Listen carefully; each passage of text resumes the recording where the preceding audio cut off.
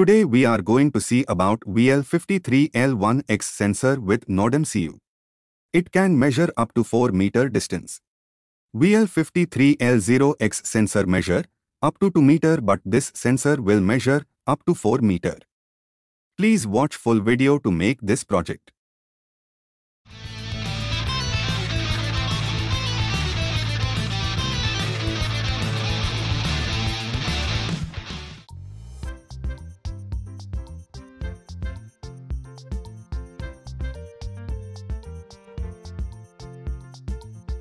Open Library Manager. Paste here and install the library.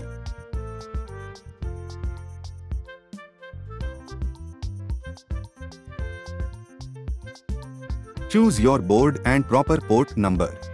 If you do not know the port number, see in Device Manager. Click Upload button to upload program to your board.